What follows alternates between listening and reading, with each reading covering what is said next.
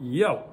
So if you're a subscriber to my channel, you're probably thinking, why is this guy reviewing shoes on his channel instead of doing the uh, other type of stuff he usually does? The reason why, last week I wanted to buy this pair of shoes that just dropped and I couldn't find anything on YouTube um, with a description of them. Uh, so here we go. Uh, and for anybody who's interested in buying these shoes, I know you're happy to see this. Check them out. This is the uh, Hydromoc Ripstop AT1TRL. Um, I'm not the type to ever buy these shoes. This summer, a friend of mine was like, yo, you gotta try these Hydromocs. And I looked at them and I was like, they're cool, but uh, I'm probably not gonna ever buy a pair. And then I saw these last week with the little sock in there. AT stands for all-terrain, so they're made for all-terrain. Um, they're way more technical than the normal Hydromocs, and this is something I'm into. Uh, so I picked up a pair. I just took them out the box earlier today. I've been walking around the house with them, and I love them. Wheezy, we're doing a little shoe review, all right? Cool. So, um, the typical Hydromocs are just this kind of like plasticky stuff, I don't know, rubbery stuff without all the extra here. Um, these ones have a strap in the back to like stabilize this back part. Velcro, uh, they got these to tighten them up because they don't have laces. And this inner sock that comes out actually, you know what? I wore these on them on their own, and they're really cool. They're like kind of cool ninja type shoes. These on their own are comfortable. Um, so this is the shoe without the insert. And uh, yeah, pretty self-explanatory. What I like about these is I go camping a lot. I'm outside a lot in the summer. I could go in water with these. They're easy to clean. Uh, you know, I could just wet them, get all the dirt off, put my foot back in, go back inside. Comfortable too. These things are super comfortable. I'm sure everybody who's watching this is already a fan of Hydromocs and already knows how comfortable these are, but I'm new to these and they're really good. I'm actually thinking about buying a pair without the sock, the regular Hydromocs. Um, so yeah, here's a look at them. They're good, they're dope, they're fresh.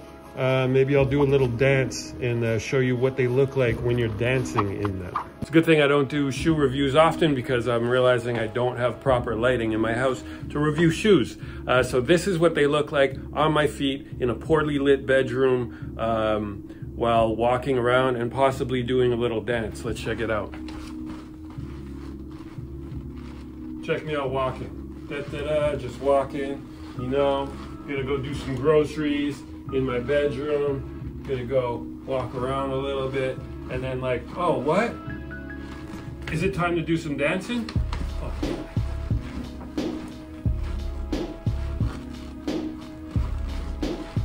And yeah, okay, so that's what they look like dancing. Check this out though.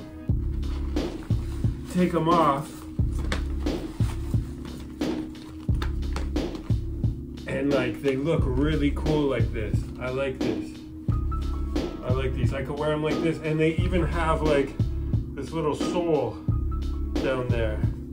That it's kind of not hard, but it's like, it's tough. It's rugged. You could go outside with these like this. So that's it. The Merrell Hydromoc AT1TRL.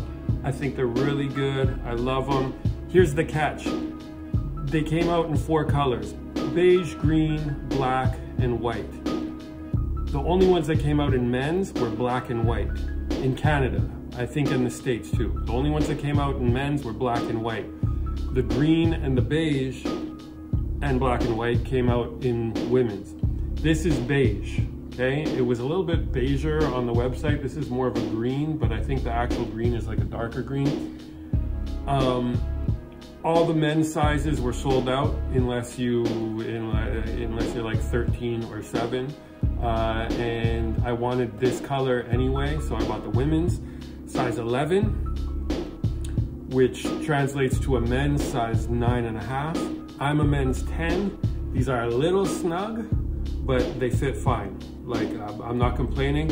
And now on the site there's hardly any of these left. I called Merrell and asked them if they plan on restocking men's sizes and or reissuing these women's ones.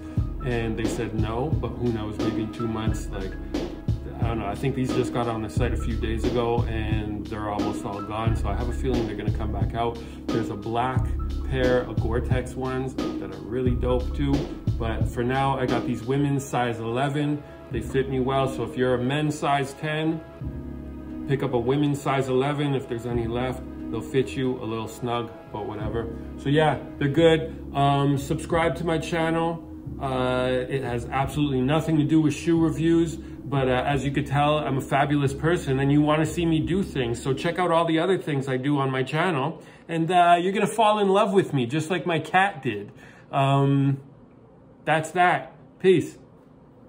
Also, to the small handful of people who already do subscribe to my channel and you're wondering why I haven't uploaded any videos in a long time, uh, I've been sleeping on the channel a little bit, but I've been taking tons of footage. I have like 15, 16 episodes that I need to edit that I will get done in the next month and a half, something like that, two months max. And with very shortly, I'll be releasing weekly episodes. I did a lot of fun stuff this summer. Episodes are gonna be dope. Um, I got a lot of plans for this winter. They are coming. So yeah, stay tuned and I'll be dropping new episodes very soon. Peace.